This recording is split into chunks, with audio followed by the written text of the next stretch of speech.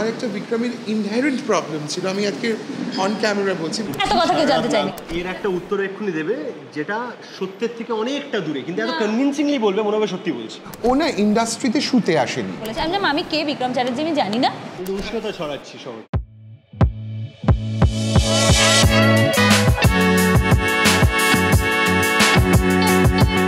এই একটু coffee order করলে হয় একটু কফি বলো। এই কে আছে ভাই? আচ্ছা কফি হাউসে কে আগে বলো তো? আমরা কফি হাউসে যে আছি হ্যাঁ। ক- কবে এসা- শেষ এসছো কফি হাউসে হ্যাঁ? He doesn't go to this places ও ও মানে ওকে খালি পাব ও না না না পাব না একটু একটু ইয়েতে যায় মানে ধরো একটু পশ. পশ ক্যাফে আচ্ছা, আচ্ছা, অনেক রকম ক্যাফে হয়ে গেছে। সেটা তো ওটা পশ মানে ক্যাফে ছাড়া যায় না। নট আর কাইন্ড শার্টটাও একটু কায়দার পড়েছে কিন্তু আজকে। হ্যাঁ ও তো কায়দারি এখানে তো মাথা থেকে মাঝে পা মাঝে অবধি পুরোটাই সুগার এক কায়দা। একটা ক্যাফে পা থেকে মাথা অব্দি পুরোটাই কায়দার শার্ট পরে এসেছি আর এই প্যান্টটা তোমাদের চাবি ওইটাই তো কায়দা না কি সুজা? কুচকানো shirt with with the cleavage so that's okay মানে that's that's suppose to be না একটু আগে সোলাঙ্কি কি বলছিলি বল খুলেই ফেলো। হ্যাঁ মানে বাটনটা এতটাই খোলাম যে আর কষ্ট করে তাহলে খুলে বসো না that's better exactly Why It's pretend? going to be visual delight for us. Uh, we will be delighted to We'll be delighted to watch. পুরোটা খুলে চলো। হ্যাঁ। এখন তো দেখছ না ঋতিক রোশন ওরকম রোদে গা পোড়াচ্ছে? না ও তো এইখানে কলকাতার রোদে গাপুরি বেড়ে না অসুবিধা ছবির জন্য Seychelles যেতে হবে। ছবির জন্য করো একটু প্লিজ না না সেশেলস সেশেলসে গিয়ে ও কেন কলকাতা মন্দারমণি ফন্দারমণি কি বলো না। ও সেশেলস আচ্ছা। গোয়া। ও কতটা বদলে গেল সোলাম কি সেই ইচ্ছে নদী। আর সেই বিক্রম। বল? তো ভালো বলতে পারবে সেই জন্য ওকে জিজ্ঞেস করছি। বদলেছো? হ্যাঁ নাটক বেড়েছে প্রচুর। অভিনেতা হিসেবে বেটার হওয়ার চেষ্টা করছি তো রিয়েল লাইফে একটা না মানে। He is more or less similar like see i don't know how how other people perceive him but i don't take him seriously. বাংলায় বলো বাংলা বাংলা।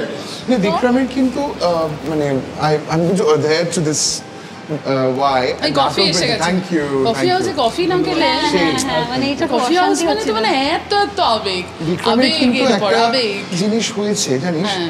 বিক্রমের অভিনয়ে একটা ধার এসছে। সেটা আহ, এতদিন কথায় ছিল। না মানে বিক্রমের সঙ্গে আমার বিক্রমের সঙ্গে আমার কথা অবশ্য সবাই শুনতে পারে না। সোলাঙ্কির সঙ্গে আমার পরিচয় নতুন। বিক্রমকে আমি অনেক বছর ধরে চিনি। অনেকবারই কথা হয়েছে আমাদের কিন্তু বিক্রমের যেটা হয়েছে এখন সেটা হচ্ছে বিক্রমের না এই মানে ও বোধহয় চেষ্টা করেছে এটার জন্য because he works very hard is a bloody hard worker এবং. ওর একটা খুব ইন্টারনালি দেখ আমাদের প্রত্যেকের তো অনেক রকম খামতিও থাকে। আমরা চেষ্টা করি হ্যাঁ, সেটাকে হ্যাঁ, হ্যাঁ। ওভারকাম করার। আমি আমার একটা বিক্রমের ইনহেরেন্ট প্রবলেম ছিল আমি আজকে অন ক্যামেরা বলছি বিক্রমের মানে শব্দ আমি শেষ শব্দ শুনতে পেতাম না। Bikram is actually work on সবচেয়ে আগে মানে দেখা যখন হয়েছিল তখন কি ঝগড়া করে দেখা হলো না জাস্ট দেখা হলো? এটা- একটা উত্তর এক্ষুনি দেবে যেটা সত্যের থেকে অনেকটা দূরে কিন্তু না। কনভিনসিংলি বলবে মনে হবে সত্যি বলছি। না আমি তোমাকে বলছি। আমাকে বলতে দাও আমাকে গল্পটা বলতে দাও। আচ্ছা ঠিক আছে বল। সব তুই বলে কেউ কথা বলবে আমাকে জিজ্ঞেস করেছে তুমি চুপ করবে? একটু দেখেছ তো? কোনো কথা বলতে দেয় না? বলো। আমি বিক্রমকে মিট করার আগে থেকে অ্যাকচুয়ালি আমাদের ঝগড়া শুরু হয়েছে তার কারণটা বলছি। আমরা ফার্স্ট ইচ্ছে নদী ইচ্ছে নদীতে একসাথে কাজ করেছি। তো ইচ্ছে নদীটা শুরু হবে হবে। এবার আমাদের লুক সেটের ডেট ফিক্স হচ্ছে। তো আমাকে চ্যানেল থেকে এরকম ফোন করেছে। তার ঠিক আগে আমি জীবনে প্রথমবার বন্ধুদের সাথে বেড়াতে যাওয়ার ছাড় পেয়েছি বাড়ি থেকে। So I am like super excited আমি আমার বন্ধুদের সাথে বেড়াতে যাব। আমার ডেট ফিক্স আমার ট্রেনের টিকিট কাটা ওখানে হোটেল বুক করা এভরিথিং ডান আমাকে চ্যানেল থেকে ফোন করল। ফোন করে বলল যে সোলাঙ্কি আমরা এরকম আর আমার ওটা সেকেন্ড বড় কাজ মানে প্রায় প্রথম বড় কাজ অ্যাকচুয়ালি বলতে পারো। সো আমি তখন রিলেটিভলি অনেক নতুন। বিক্রম তখন বেশ এস্টাবলিশ হিরো এবার মাথাটা এত গরম হয়েছিল আমার ফোন করে আমাকে বলছে যে এরম এই দিনটাতে আমরা একটা লুক সেটের ডেট ফেলেছি আমি বললাম আমি যে তোমাদের বললাম যে আমি ওই সময়টা থাকব না ওই তিনটে দিন আমাকে ছেড়ে দাও প্লিজ আমি ওই তিনটে দিন বেড়াতে যাব। বলছে না বিক্রমের ওই তিনটে দিনের মধ্যে ছাড়া হবে না। আমি না এত রেগে গেছি এলাম দেখো এটা তো আমার অনেকদিন আগে বলা ছিল আর আমি বিক্রম চ্যাটার্জিকে চিনি না। তো খুব ভালো চিন্তি চিন্তা মানে বিক্রম চ্যাটার্জিকে আমি বললাম আমি অবভিয়াসলি দেখেছ আমি বাড়িয়ে বলিনি এক্স্যাক্টলি যেটা বলেছি সেটাই বলেছি। আমি আমি কে বিক্রম চ্যাটার্জি আমি জানি না। হতে পারে, ও অনেক senior but I am very sorry এই তিন দিন আমাকে প্লিজ তোমরা পাবে না, এটা আমার অনেক দিনকার প্ল্যান আমার বাবা মা প্রথম আমাকে ছাড়ছে বন্ধুদের সাথে আই ক্যানট মিস দিস আমার বন্ধুরা প্রচণ্ড ডিসঅ্যাটেন্ট হয়ে যাবে। তো ঠিক আছে, না না হ্যাঁ না হ্যাঁ না, করতে করতে বাট থ্যাঙ্কস টু দ্যাম ওরা আমাকে বলল, না, বিক্রম ওইসব তাও কেন হলো? বিক্রম ওইসব এটা আসতে পারছে না বলে। আমি ফাইন আর আমি গিয়ে প্রচণ্ড গালাগালি করেছিলাম আমার বন্ধুদেরকে। কে? এ কি মনে করে নিজেকে? একটু অ্যাডজাস্ট করতে পারে না শুনে শুনে শুনেছে যখন যে আমার এরকম একটা ক্রাইসিস এই সেই হ্যান ত্যান জানি না শুনেছে কিনা অবভিয়াসলি ফার্স্ট টাইম যাচ্ছি দ্যাট ইজ ইম্পর্টেন্ট এত বললে চ্যানেলে ফোন করে ও ফার্স্ট টাইম যাচ্ছে is important for me, right? Okay, তারপরে? Cut to. course. Listen, cut to. What a, like whatever, I don't want to use that term. আমাদের ইচ্ছে নদীর প্রোমো শ্যুট হচ্ছে আমরা শ্যুট করছি সে দুটো প্রোমো ছিল ফার্স্ট প্রোমোটাতে ও ছিল না। মানে ওর শ্যুটটা আলাদা ছিল আর কি। ঢুকলো বিক্রম ভালো কথা আমার হিরো এত কথা কেউ জানতে। ঘুমিয়ে ফ্লাইট নিয়ে অ্যান্ড খুব একটা আর্জেন্ট এই যে তুমি বলেছিলে ভদ্র তখন আমি ঠিক করে একটা হেসেছিলাম এখানে তার কারণটা আমি তোমাকে এখন বলছি। আমি বললাম hello good morning his reaction I was like insulted to the core না বলনি hello.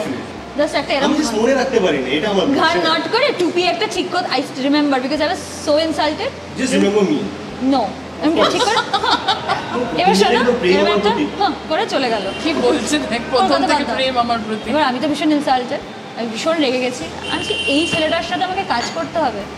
Okay fine test I am I am being tested okay কিন্তু আমি তো ভুলিনি যেটা আমার সাথে করেছে। এবার আমরা সেকেন্ড প্রোমো শুট করতে যাচ্ছি ঠিক আছে? এয়ারপোর্টে সেদিন তো আচ্ছা। সেদিন ওর মুড ভালো ফুরফুরে মেজাজে। আমি কি করে জানব কোথা থেকে আসছে?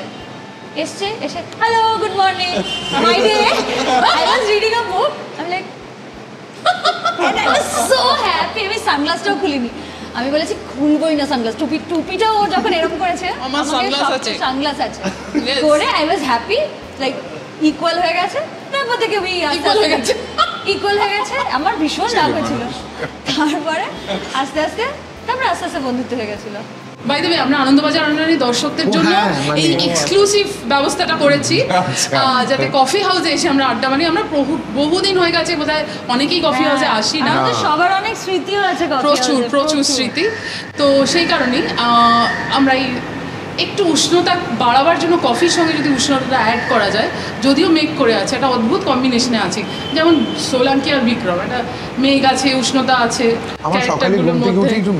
হ্যাঁ আর সুজয় তো সকালে মেঘ নিয়েই থাকে হ্যাঁ। তারপরে ও বিকেলবেলা থেকে বিকেলবেলা ফ্লোটা পায় আমি জানি। অরিত্রটা অরিত্র সম্পর্কে আমি অতটা জানি না কিন্তু অরিত্রটা একটা ছোট্ট ছোট্ট করে আমি দেখছিলাম একটা করে হালকা করে কিছু কিছু কমেন্টস করে যাচ্ছে। খুব হ্যাঁ, irritating. আচ্ছা খুব ইরিটেটিং রাইট হ্যাঁ. মানে ওরা খুব মজার হ্যাঁ সেটাই। Man of. হ্যাঁ। হ্যাঁ হ্যাঁ। ছোট্ট ছোট্ট করে ওর আর ওর enjoy এক্সপ্রেশন ও এটা কি? মানে এরকম করছে আমি বুঝলাম তুমি দেখবে যে খুব এক্সপ্রেসিভ অনেক কিছু বলেন না। ছোট ছোট করে বলে লজ্জা পাচ্ছি সবাই আমরা খুব এনজয় করি। লজ্জা ও! একটু লজ্জা পাচ্ছিল দেখ। দিয়া আমি আনন্দবাজার অনলাইনে বলছি my brother is anything but লজ্জা পায়। প্লিজ ও লোককে লজ্জা দিয়ে দেবে। এ এমন কিছু করবে না। এই যে তোমাকে নিয়ে এত আলোচনা হচ্ছে। এটাই এটাই হচ্ছে ওর এটাই হ্যাঁ, মানে এটাই হচ্ছে স্টাইল না না না না না। তবে হ্যাঁ এটা আমি ডেফিনেটলি অন ক্যামেরা বলতে চাই এবং তোকে বলতে চাই কারণ তুই ওকে খানিকটা হলেও কম চিনিস। ওর শিক্ষা এবং বুদ্ধি নিয়ে ও যেভাবে কাজ করে আমি যদি ওকে ব্যক্তিগতভাবে না চিনতাম তাহলে আমি এটা বলতাম that I am very very please to be working with a director who has brains and and a heart তো ওই ধরনের মানুষ পছন্দ করি হ্যাঁ মানে ওর না কোথাও একটা হৃদয় আর বুদ্ধির মেলবন্ধন আছে। মানে he is not completely art house is not completely mainstream ও কোথাও একটা মাঝখানে এবং সেই মাঝখানটা খুব ওয়েল ডিফাইন্ড কারণ ও পার্টি দিতে ভালোবাসে না। ও আহ, নায়িকাদের সঙ্গে ফ্লার্ট করে না। আহ, করলে আমি জানতে পারি না কিন্তু করে না আমি এটুকু বলতে পারি। আর ওটার অবজেক্টিভ না মানে ও না ইন্ডাস্ট্রিতে শুতে আসেনি। ওইখানে কাজ করতে এসেছে and he means serious business which is absolutely is one of the few directors I've met who will admire anything that is talented. If না বাট আমার মনে হয় যে আমরা অনেকেই কথা বলছি অরিত্র অবভিয়াসলি আমি আর অরিত্র চুপ, অরিত্র। কিন্তু দিনে নিয়ে আমরা সবাই মিলেও যা বলতে পারি অরিত্র তার থেকে অনেক কম শব্দ করে। অনেক বেটার বলতে পারি I. Really wanted to say something যে তুমি কি বললে কম শব্দ চয়ন করে দেয় did you use the word চয়ন yes? I can't believe this কেন? ও কি চয়ন বাংলা? বললে তুমি? ও বাংলা? হ্যাঁ না আমরা কিন্তু অ্যাপ্রিশিয়েট করছি। আমি বলতে যাচ্ছিলাম লীনার নাম। মুখোপাধ্যায় যদি এটা দেখছেন তাহলে চয়ন আমি চার বছর টানা লীনাদি সিরিয়াল করেছি। এক্স্যাক্টলি আমি বলতে যাচ্ছিলাম। বলে না তাই। আরে কত কি আছে?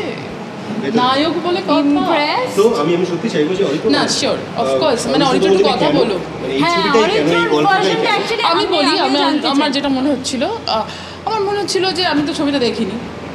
আমি একজন সাধারণ একটু সমালোচনা করব গ্রস্ত দর্শক আর কি। তো একটা তো কলেজের একটা দেখছিলাম এরকম ছেলে মেয়েদের ব্যাপার এবং কলকাতার একটা অদ্ভুত নস্টালজিয়া সেখানে আছে। কিন্তু মানে আমি ঠিক বুঝতে পারছি না যে মানে কি ছবিটা আর কি? মানে ছবিটার মধ্যে আকর্ষণ করার মতো কি কি থাকছে? বিক্রম সোলম কি ছাড়? বিক্রম সোলান কিন্তু জাস্ট ঘটনাক্রমে দুটো চরিত্র প্লে করছে মানে যখন ওরা কাস্ট হয়েছিল এইভাবে তো ভাবিনি যে হ্যাঁ। ওরা দুজন এত বড় সেন্সেশন হবে তাই কাস্ট করা হবে। আমি ইনফ্যাক্ট ওরা তো এখানে রয়েছে দুজনকে আলাদা আলাদা অ্যাপ্রোচ করেছিলাম। তারপরে আই কেম টু নো যে it is always help the film কিন্তু ছবিটা তার আগে থেকেই আমি লিখেছি সো আমার মনে হয় যে আমাদের জেনারেশনের সবচেয়ে বড় ক্রাইসিস এখন হলো আরবান ডিসপ্লেসমেন্ট কারণ আমরা শুধু কলকাতা বলে নয় যে কোনো দেশেরই, যে কোনো ছোট শহরে সব শহর, সব দেশেরই তো একটা করে পাওয়ার সেন্টার থাকে। আমাদের যেরকম আছে বম্বে দিল্লি ব্যাঙ্গালোর পাওয়ার সেন্টার রয়েছে। কলকাতাও ডেফিনেটলি পাওয়ার সেন্টার ছিল, কিন্তু এখন তো আর নেই। তো তিরিশ, চল্লিশ বছর ধরে ব্রেন ব্রেন হয়ে সকলেই। আমরা জানি যে ক্রেম ডেলা ক্রেম অলওয়েজ লিভস আমরাও এখন পড়াশোনা করেছি। আমরা আমাদেরও আমরাও বাইরে গেছি এবং তারপর ফিরে এসেছি because we choose to not all people choose to, That's but right. or not all people have the opportunity to choose. to. They have So to true. adhere to what they get in other cities, so uh, or countries.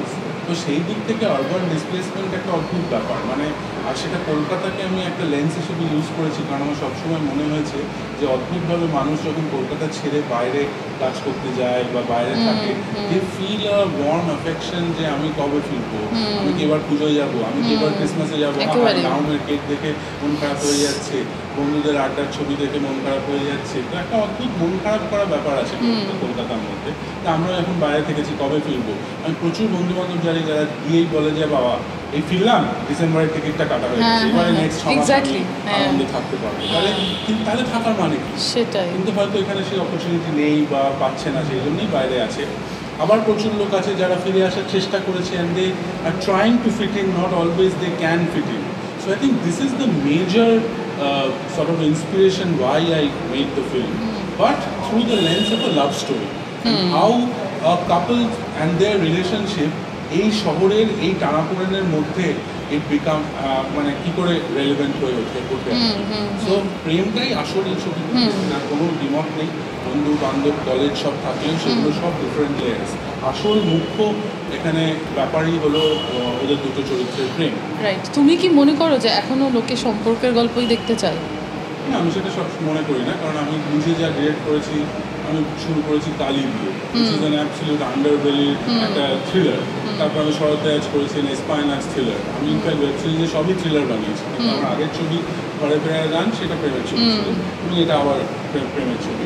কিন্তু এটা প্রেমের ছবি হলো আগেরটা পুরোপুরি সেদিকে হলো এখানে প্রেমের ছবি হলেও যেটা বলছি শহরের লেন্সটা রয়েছে বলে আমার মনে হয় একটু আলাদা হ্যাঁ, হ্যাঁ, হ্যাঁ। কিছু কিছু জায়গায় এই চরিত্রগুলো যেভাবে নিজেদের মতো করে রিভোল্ট করছে নিজেদের জায়গায় বা নিজেদের মতো করে চেষ্টা করছে to fit in or go away সেটা আমার মনে হয় প্রচুর লোকের সাথে কানেকশন আরেকটা জিনিস জিজ্ঞেস করিনি তোমাকে এই- সুযোগে। বাংলা ছবি বিশেষ করে একটা কথা সবাই বলছেন এখন, সেই কারণেই জিজ্ঞেস করছি যে দর্শক নিজেকে খুঁজে পাবেন। এই যে বিষয়টা, এটা কতটা জরুরি একটা ছবির ক্ষেত্রে তুমি মনে করো? আমার মনে হয় যে দেখুন, ছবি তো প্রচুর হচ্ছে মানে ছবি চলছে, না চলছে ছবি তো প্রচুর হচ্ছে। একশোটার ছবি সায়েন্সের হচ্ছে, প্রত্যেক উইকে দু তিনটে করে ছবি বেরোচ্ছে। তো তার মধ্যে কতটা একটা ডিফারেন্সিয়েটিং ফ্যাক্টর থাকে আমার মনে হয় দর্শক যেটা কানেক্ট করতে পারবে এবং যেটা মনে করতে পারবে যে তার জার্নির সাথে কোনোভাবে একটা রিলেশন রয়েছে বা সে কোনোভাবেই এখানে প্রোটাগনিস্টদের জার্নির সাথে একসাথে মুভ করতে চায় সেখানে মনে হয় একটা ইন্টারেস্ট তৈরি হয়। কারণ সব সব সব right. কটা কন্টেন্টের মধ্যে আমাদের তো আলাদাও করতে হবে ওরই দুদিন আগে ছবি বেরিয়েছে আমাকেই দুদিন আগে ছবি বেরিয়েছে ওরই কালকে আরেকটা কিছু বেরোবে তো how will they differentiate this film why will they come and watch it কারোর তো দায় নেই যে আমাদের ছবিটাই দেখতে হবে। এত ছবি আছে এত পোর্টাল আছে। তো সেই দিক থেকে আমাদের ওইটুকু কনসেন্ট্রেট করে দেওয়া যাতে দর্শক ছবিটার মধ্যে একটা কোনো দিশা হল হল পেতে অসুবিধা হবে? কি মনে হচ্ছে? মনে হয়। হল খুলে দিচ্ছে if I want a part of the film এই ছবিতে আমি প্রথমবার তোমাকে সুযোগ দিয়েছে স্টাইলিং করার জন্য ওয়ার্ড্রোব দেখার জন্য ওয়ার্কশপ করার জন্য। আমি যদি এই ছবি না দেখতাম। আমি যদি বিক্রম সোলাঙ্কিকে ব্যক্তিগতভাবে না চিনতাম আমি হয়তো একটা প্রথমে ক্রুড মন্তব্য করতাম knowing me oh that's television pair is back কিন্তু শ্রবন্তী এই যে আমাদের জেনারেশনের সঙ্গে ওদের একটা জেনারেশন তার পরের যে জেনারেশন বিক্রমের পরের জেনারেশনও তো তৈরি হয়ে হ্যাঁ গেছে। এই কোথাও